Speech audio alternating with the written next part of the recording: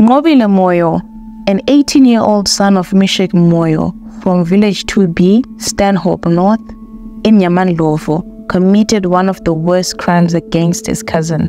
This happened on the 19th of January 2020 at approximately 8 p.m. at night. Ngobile, with his little sister Sibusisiwe Moyo, his cousin Rumbidzai Mkwananzi, a 13-year-old, and her younger brother Mtulisi Mkwananzi, a 10-year-old, went to bed. Their grandmother, who was also their guardian, was not around, so they slept in the same hut for protection. The two boys, Ngobile and Mtulisi, slept on the bed, while the two girls, Rumbidzai and Sibusisiwe, slept on the floor.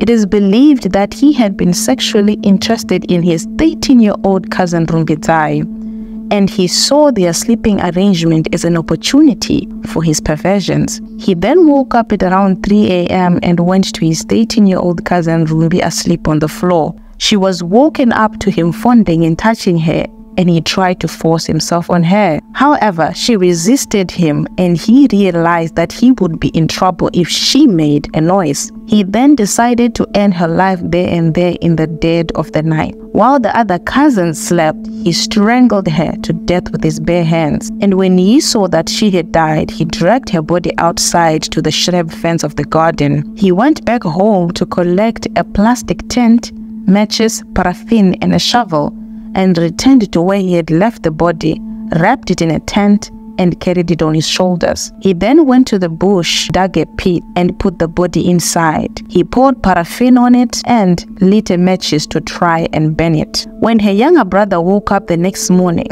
he could not find his sister and he was worried. He tried looking for her everywhere, but he could not find her. He then realized that she was nowhere near the homestead and he made a decision to go to their uncle in the next village. His name was Petros Ngomo. When he came, he inspected the bedroom where she had slept on the floor and discovered that there had been signs of struggle in the bedroom. And when he went outside, he saw that there were signs of something big that had been dragged from the bedroom hut. He then decided to follow shoe prints that he saw from the hut going into the forest. And when the shoe prints disappeared, he saw a mound of soil that indicated that there was a shallow grave a kilometer from the homestead. He then made a report to the police and they came and exhumed the body. The shoe prints matched those of Ngobile and he admitted to forcing himself on Rumbi killing her and burying her body. She was taken to the hospital for post-mortem and he was arrested and charged with murder. He claimed that he had tried and failed to rape his cousin and killed her